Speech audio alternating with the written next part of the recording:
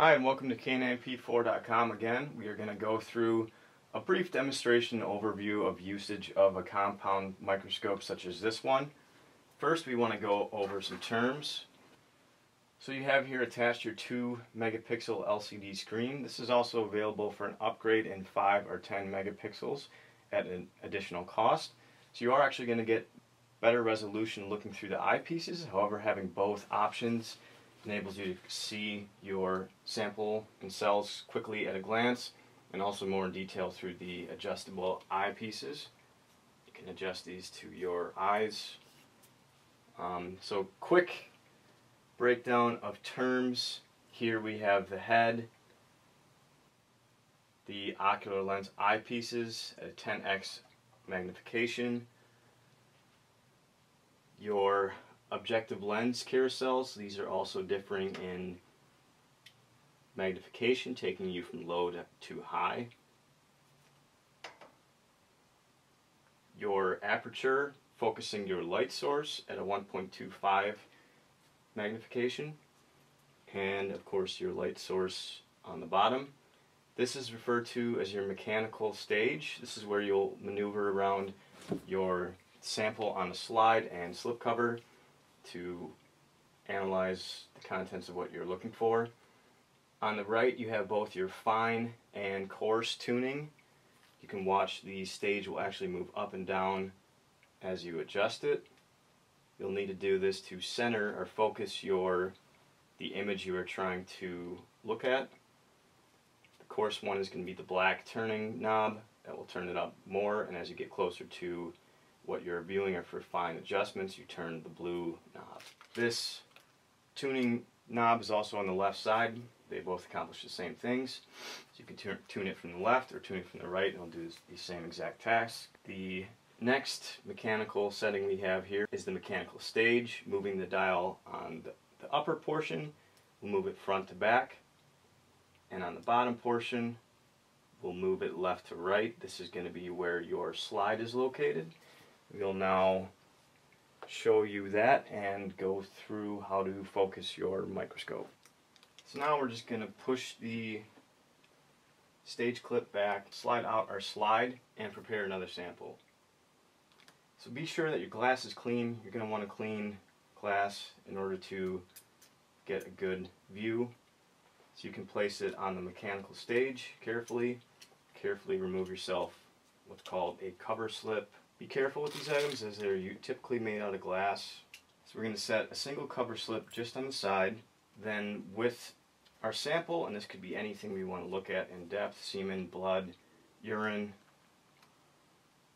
just need a drop. So we're just going to take a little bit, place a single drop right on the center of the slide, close up the specimen, and then from here we don't want to drop it quite directly flat on to the sample drop. We want to place it at on one edge first and then come down and it'll spread out throughout throughout the surface of the cover slip. Then we'll pull back the stage clip, insert it into place, maneuver the stage for the best location for what we want to look at, and use the fine or coarse adjustment knob to get the image in place. Be sure to use it on the lower magnification as that's going to be the easiest to find. So if you see something that looks like this, this is actually in the glass and you're not quite to the sample yet. But it's a good indication that you're very close, so keep moving a little bit forward and don't get frustrated. This whole tuning can be a little difficult. And in terms of sperm size, you may need to start with the 40x objective and not the 10. If it's too small, you'll simply see white throughout the sample until you increase the magnification. So here we're at, that's just a break, tiny microscopic break in glass. we'll continue moving. Now we are seeing the sample. I'm going to make some adjustments. So now we're zoomed in on the 40x. This is where a good dye would help, but we can see dead sperm here. We actually have no live sperm in this specimen, and they're floating around a little bit. If you're getting a floating image, that may mean you put too much sample on the microscope slide, we only want the sample to be a couple cells thick, and this is a little heavy, so they're kind of pooling around there.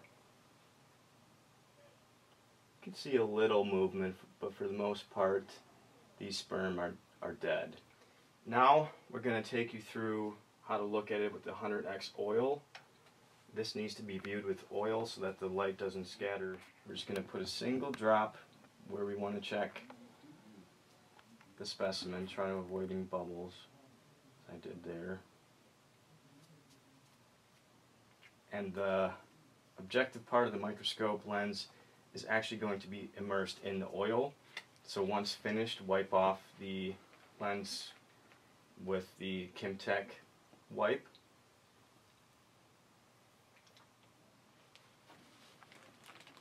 Now it may suit you to find a lower objective and center it above the oil before we turn to the oil use.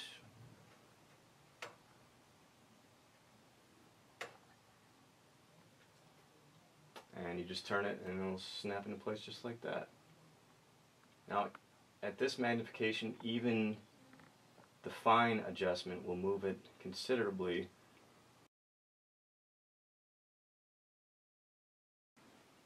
Okay, so here we have that same stoma plant cell at 100x. So this is the plant cell at 2000 magnification. This is as high as it's going to get. So notice here how even with the fine-tuned adjustments, very easy to get out of perspective at this magnification. If you're having issues finding what you're looking for, use your practice slide, go down to the minimum 10x magnification, get a good clear focus shot there, and then move forward in the magnification as you go to be as close to the right tuning as possible. Now you can also note on the bottom left here on the bottom of the optical device there is a light attenuator so as we move it up it's going to decrease the amount of light coming through and you'll notice that from the light source here as well.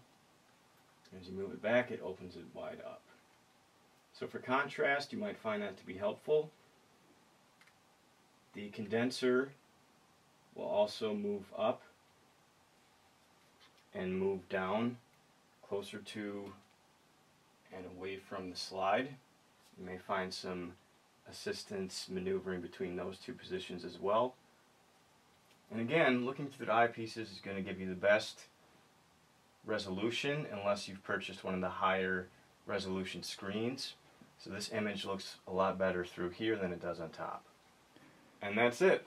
Thanks for visiting us at caninep4.com for brief training on your dual optical microscope.